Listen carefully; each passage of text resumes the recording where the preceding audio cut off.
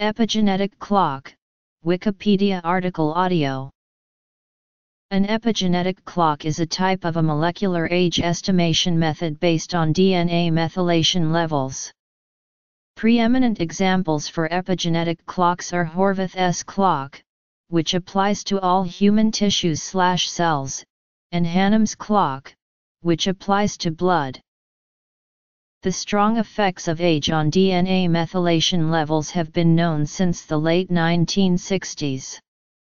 A vast literature describes sets of CPGS whose DNA methylation levels correlate with age, e.g.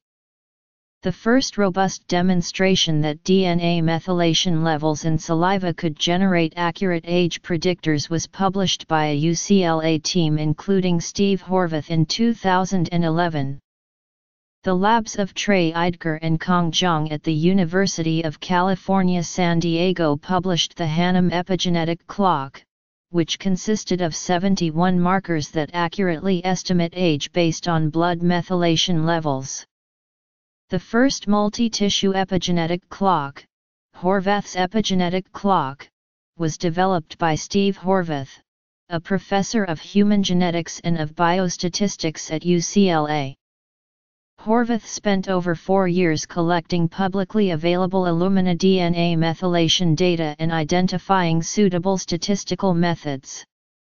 The personal story behind the discovery was featured in Nature. The age estimator was developed using 8,000 samples from 82 Illumina DNA methylation array datasets, encompassing 51 healthy tissues and cell types. The major innovation of Horvath's epigenetic clock lies in its wide applicability, the same set of 353 CPGS and the same prediction algorithm is used irrespective of the DNA source within the organism, i.e. it does not require any adjustments or offsets. This property allows one to compare the ages of different areas of the human body using the same aging clock. History Relationship to a cause of biological aging It is not yet known what exactly is measured by DNA methylation age. Horvath hypothesized that DNA methylation age measures the cumulative effect of an epigenetic maintenance system but details are unknown. The fact that DNA methylation age of blood predicts all-cause mortality in later life strongly suggests that it relates to a process that causes aging. However, it is unlikely that the 353 clock CPGS are special or play a direct causal role in the aging process. Rather, the epigenetic clock captures an emergent property of the epigenome. In general, biological aging clocks and biomarkers of aging are expected to find many uses in biological research since age is a fundamental characteristic of most organisms. Accurate measures of biological age could be useful for Overall, biological clocks are expected to be useful for studying what causes aging and what can be done against it. The clock is defined as an age estimation method based on 353 epigenetic markers on the DNA. The 353 markers measure DNA methylation of CpG dinucleotides. Estimated age, also referred to as DNA methylation age, has the following properties. First, it is close to zero for embryonic and induced pluripotent stem cells, Second, it correlates with cell passage number. Third, it gives rise to a highly heritable measure of age acceleration. And, fourth, it is applicable to chimpanzee tissues. Organismal growth leads to a high ticking rate of the epigenetic clock that slows down to a constant ticking rate after adulthood. The fact that DNA methylation age of blood predicts all-cause mortality in later life even after adjusting for known risk factors suggests that it relates to a process that causes aging. Similarly, markers of physical and mental fitness are associated with the epigenetic clock. Salient features of Horvath's epigenetic clock include its high accuracy and its applicability to a broad spectrum of tissues and cell types. Since it allows one to contrast the ages of different tissues from the same subject, it can be used to identify tissues that show evidence of accelerated age due to disease. Motivation for biological clocks the basic approach is to form a weighted average of the 353 clock CPGS, which is then transformed to DNMH using a calibration function. The calibration function reveals that the epigenetic clock has a high ticking rate until adulthood, after which it slows to a constant ticking rate. Using the training data sets, Horvath used a penalized regression model to regress a calibrated version of chronological age on 21,369 CPG probes that were present both on the Illumina 450K and 27K platform and had fewer than 10 missing values. DNM age is defined as estimated age. The ElasticNet predictor automatically selected 353 CPGS 193 of the 353 CPGS correlate positively with age while the remaining 160 CPGS correlate negatively with age. Our software and a freely available web-based tool can be found at the following web page. The median error of estimated age is 3.6 years across a wide spectrum of tissues and cell types. The epigenetic clock performs well in heterogeneous tissues as well as in individual cell types such as CD4 T cells, CD14 monocytes, glial cells, neurons, immortalized B cells, mesenchymal stromal cells. However, accuracy depends to some extent on the source of the DNA. Properties of Horvath's clock The epigenetic clock leads to a chronological age prediction that has a Pearson correlation coefficient of R equals 0.96 with chronological age. Thus the age correlation is close to its maximum possible correlation value of 1. Other biological clocks are based on A telomere length, BP16 INK4A expression levels, and C microsatellite mutations. The correlation between chronological age and telomere length is R equals 0.51 in women and R equals 0.55 in men. The correlation between chronological age and expression levels of P16 INK4A in T cells is R equals 0.56. P16 INK4A expression levels only relate to age in T cells, a type of white blood cells. The microsatellite clock measures not chronological age but age in terms of elapsed cell divisions within a tissue. By contrasting DNA methylation age with chronological age, one can define measures of age acceleration. Age acceleration can be defined as the difference between DNA methylation age and chronological age. Alternatively, it can be defined as the residual that results from regressing DNM age on chronological age. The latter measure is attractive because it does not correlate with chronological age. A positive slash negative value of epigenetic age acceleration suggests that the underlying tissue ages faster slash slower than expected.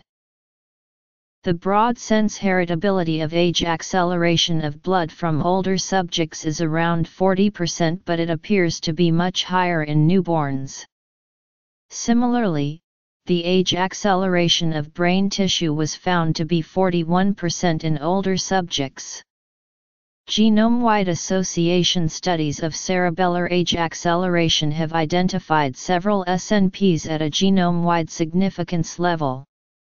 Gene and SNP sets found by genome-wide association analysis of epigenetic age acceleration exhibit significant overlap with those of Alzheimer's disease, age-related macular degeneration, and Parkinson's disease.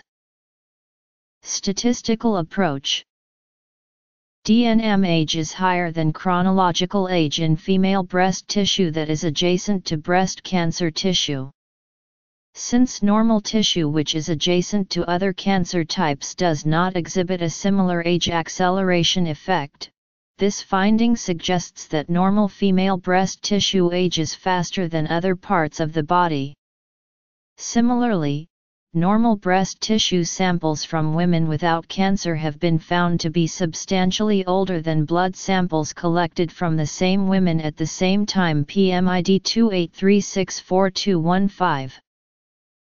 Accuracy Cancer tissues show both positive and negative age acceleration effects. For most tumor types, no significant relationship can be observed between age acceleration and tumor morphology. On average, cancer tissues with mutated TP53 have a lower age acceleration than those without it. Further, Cancer tissues with high age acceleration tend to have fewer somatic mutations than those with low age acceleration. Age acceleration is highly related to various genomic aberrations in cancer tissues. Somatic mutations in estrogen receptors or progesterone receptors are associated with accelerated DNM age in breast cancer. Colorectal cancer samples with a BRAF mutation or promoter hypermethylation of the mismatch repair gene MLH1 are associated with an increased age acceleration. Age acceleration in glioblastoma multiforme samples is highly significantly associated with certain mutations in H3F3A. One study suggests that the epigenetic age of blood tissue may be prognostic of lung cancer incidence. Comparison with other biological clocks The epigenetic clock was used to study the relationship between high body mass index and the DNA methylation ages of human blood, liver, muscle, and adipose tissue. A significant correlation between BMI and epigenetic age acceleration could be observed for the liver. A much larger sample size revealed a weak but statistically significant correlation between BMI and intrinsic age acceleration of blood PMID 28198702.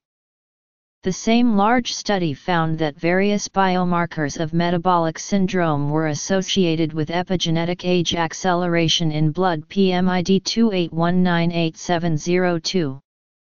Conversely, high levels of the good cholesterol HDL were associated with a lower epigenetic aging rate of blood PMID 28198702. Down syndrome entails an increased risk of many chronic diseases that are typically associated with older age. The clinical manifestations of accelerated aging suggest that trisomy 21 increases the biological age of tissues, but molecular evidence for this hypothesis has been sparse.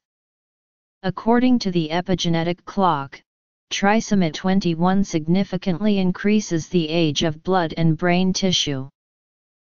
Applications of Horvath's clock Epigenetic age acceleration of the human prefrontal cortex was found to be correlated with several neuropathological measurements that play a role in Alzheimer's disease further, it was found to be associated with a decline in global cognitive functioning, and memory functioning among individuals with Alzheimer's disease. The epigenetic age of blood relates to cognitive functioning in the elderly. Overall, these results strongly suggest that the epigenetic clock lends itself for measuring the biological age of the brain. It has been difficult to identify tissues that seem to evade aging due to the lack of biomarkers of tissue age that allow one to contrast compare the ages of different tissues. An application of epigenetic clock to 30 anatomic sites from six centenarians and younger subjects revealed that the cerebellum ages slowly, it is about 15 years younger than expected in a centenarian. This finding might explain why the cerebellum exhibits fewer neuropathological hallmarks of age-related dementias compared to other brain regions. In younger subjects, brain regions, and brain cells appear to have roughly the same age. Several SNPs and genes have been identified that relate to the epigenetic age of the cerebellum. Huntington's disease has been found to increase the epigenetic aging rates of several human brain regions. The offspring of semi-supercentenarians have a lower epigenetic age than age-matched controls and centenarians are younger than expected based on their chronological age. Infection with the human immunodeficiency virus 1 is associated with clinical symptoms of accelerated aging, as evidenced by increased incidence and diversity of age-related illnesses at relatively young ages. But it has been difficult to detect an accelerated aging effect on a molecular level. An epigenetic clock analysis of human DNA from HIV and subjects and controls detected a significant age acceleration effect in brain and blood tissue due to HIV-1 infection. These results are consistent with an independent study that also found an age advancement of 5 years in blood of HIV patients and a strong effect of the HLA locus. Genetic studies of epigenetic age acceleration. A large-scale study suggests that the blood of Parkinson's disease subjects exhibits accelerated aging effects. Female breast tissue is older than expected. Children with a very rare disorder known as Syndrome X maintain the facade of persistent toddler-like features while aging from birth to adulthood. Since the physical development of these children is dramatically delayed, these children appear to be a toddler or at best a preschooler. According to an epigenetic clock analysis, blood tissue from Syndrome X cases is not younger than expected testing the validity of various theories of biological aging, diagnosing various age-related diseases and for defining cancer subtypes, predicting slash prognosticating the onset of various diseases, serving as surrogate markers for evaluating therapeutic interventions including rejuvenation approaches, studying developmental biology and cell differentiation, forensic applications, for example to estimate the age of a suspect based on blood left on a crime scene. The following results strongly suggest that the loss of female hormones resulting from menopause accelerates the epigenetic aging rate of blood and possibly that of other tissues. First, early menopause has been found to be associated with an increased epigenetic age acceleration of blood. Second, surgical menopause is associated with epigenetic age acceleration in blood and saliva. Third, menopausal hormone therapy, which mitigates hormonal loss, is associated with a negative age acceleration of buccal cells. Fourth, genetic markers that are associated with early menopause are also associated with increased epigenetic age acceleration in blood.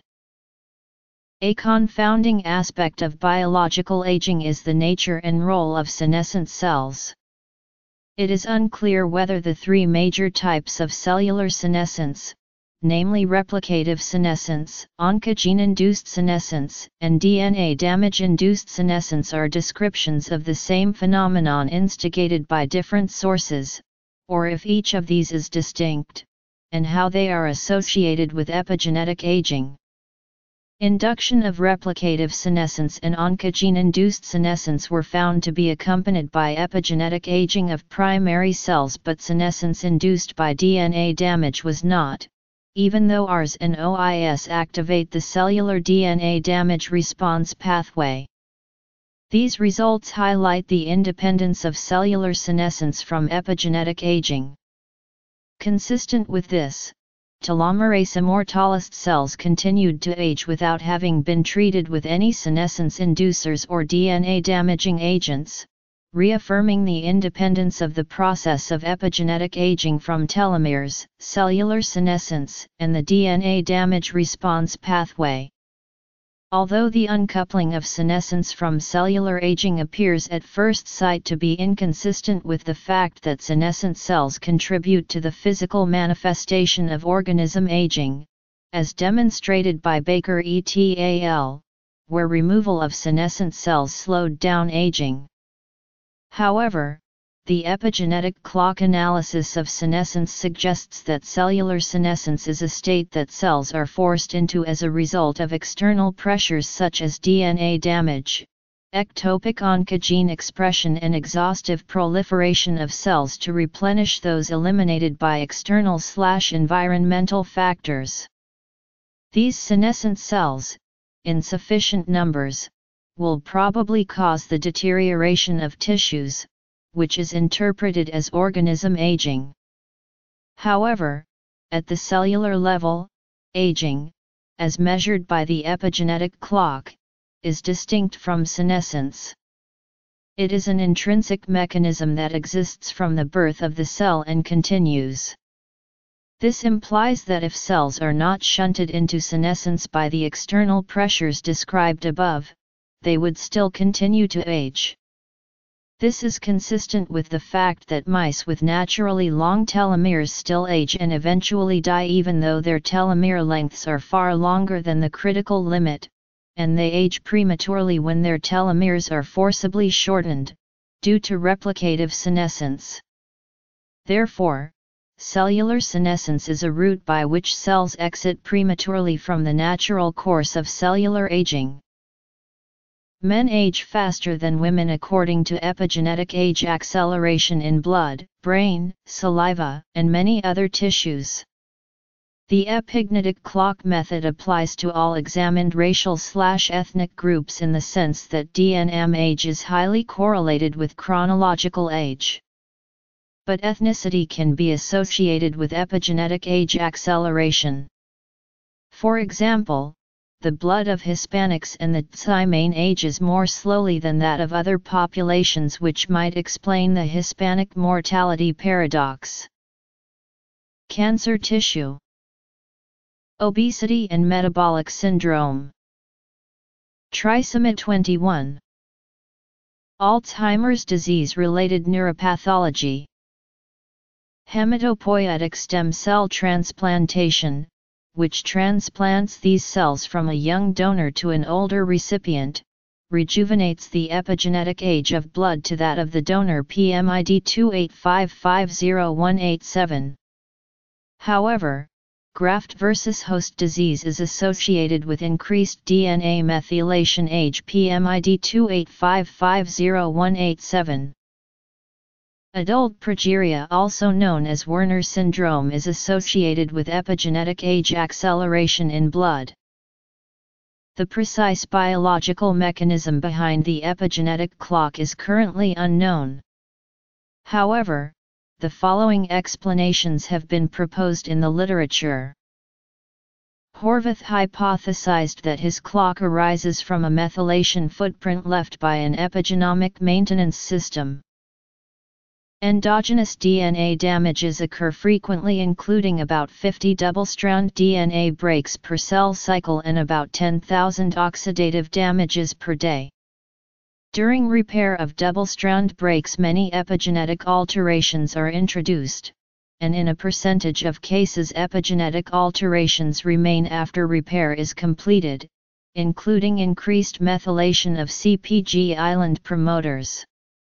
Similar, but usually transient epigenetic alterations were recently found during repair of oxidative damages caused by H2O2, and it was suggested that occasionally these epigenetic alterations may also remain after repair. These accumulated epigenetic alterations may contribute to the epigenetic clock. Accumulation of epigenetic alterations may parallel the accumulation of unrepaired DNA damages that are proposed to cause aging. Several other age estimators have been described in the literature. One Weidner et al. describe an age estimator for DNA from blood that uses only three CPG sites of genes hardly affected by aging, CG02228185 in aspartoacylase and CG17861230 in phosphodiesterase 4C, camp specific. The age estimator by Weidner ETAL applies only to blood. Even in blood this sparse estimator is far less accurate than Horvath's epigenetic clock when applied to data generated by the Illumina 27K or 450K platforms. But the sparse estimator was developed for pyrosequencing data and is highly cost-effective. Cerebellum ages slowly. 2 Hannum ETAL report several age estimators, one for each tissue type. Each of these estimators requires covariate information. The authors mention that each tissue led to a clear linear offset. Therefore, the authors had to adjust the blood-based age estimator for each tissue type using a linear model.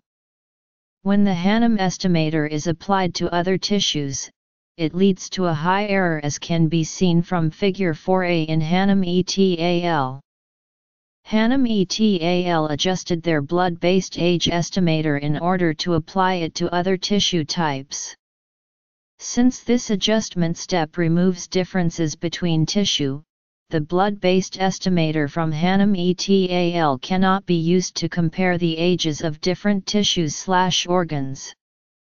In contrast, a salient characteristic of the epigenetic clock is that one does not have to carry out such a calibration step, it always uses the same CPGS and the same coefficient values.